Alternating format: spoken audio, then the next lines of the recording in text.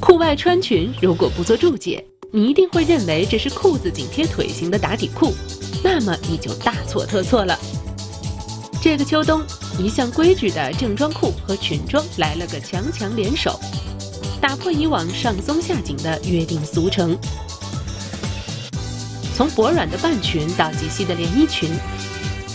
合体的七分裤到宽松的喇叭裤，裤子和裙子之间的排列组合随心所欲。二对一的搭配更能展现出款式的舒适性。宽松的裙摆设计。叠加休闲的长裤，看起来保暖又新潮。难道这一季设计师的灵感来源于怕冷的女人吗？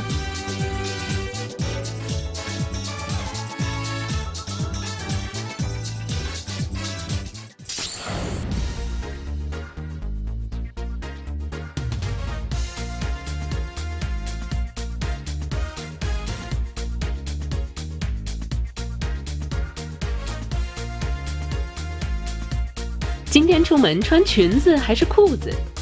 这个秋冬不需要再问，老佛爷用实际行动给了我们最好的答案：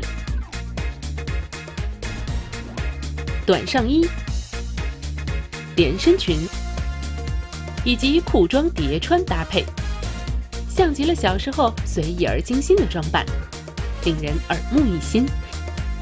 这些造型被放在 Chanel 今年秋冬秀场的紫色水晶森林中，呈现出焕然一新的女性形象，无拘无束，晶莹闪耀，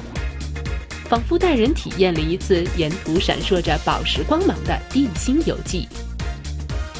修身长外套搭配线条圆润、宽大有垂坠感的袖子，褶皱或系腰带的腰部设计强化了整体的立体感。而本系列中的配饰也非常有趣，透明鞋跟的渐变色高跟鞋，装饰着大量水晶的手镯，以及丝绒面的链条挎包都十分精致。这一季，老佛爷再次用他的设计向自然所孕育的奇妙色彩致敬，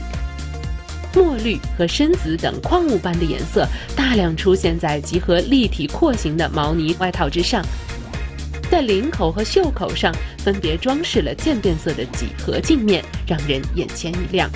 而扎染的印花长裙则透出一股自然的淳朴之气。